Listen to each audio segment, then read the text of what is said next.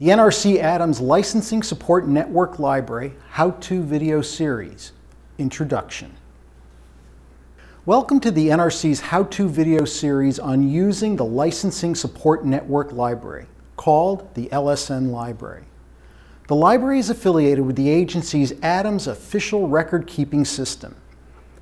Available to the public, it has nearly 3.7 million documents related to the Department of Energy's application to construct a high-level nuclear waste geologic repository at Yucca Mountain, Nevada.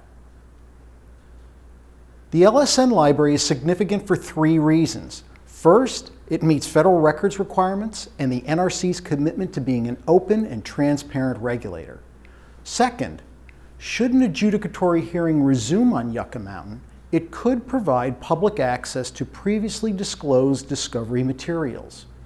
Third, if a hearing doesn't resume, the library will provide an important source of technical information for any future high-level waste proceeding. The LSN library is powered by IBM's advanced Watson-based search engine, a one-stop search capability for technical information.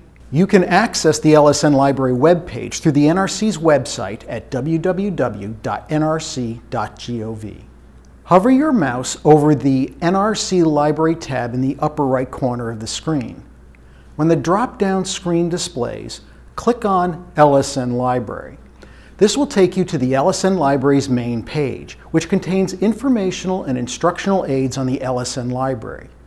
You can begin your search by clicking on the Begin LSN Library search link.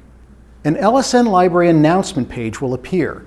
This page will contain messages about training opportunities, system maintenance activities, and other general information. Click the Continue to LSN Library button to access the library search page. There are three functional areas on the LSN Library page that help you search for records, refine a search, and work with your results. The top search bar allows you to enter basic and advanced search criteria to locate records of interest you will always start a search here. To refine your search, there are three outside sections called the facet tree, the time series chart, and the facet chart, where you can limit a search by specific categories, including authors, organizations, and date ranges. The center section displays your results and provides options for viewing, saving, and printing them. The NRC has developed a series of brief tutorial videos about how to work in each of these three areas. These videos can be watched on the NRC YouTube channel or through the LSN Library web page. For more help, call the NRC Public Document Room staff at 301 415 4737 between 8 a.m. and 4 p.m. Eastern Time, or email them at pdr.resource at nrc.gov.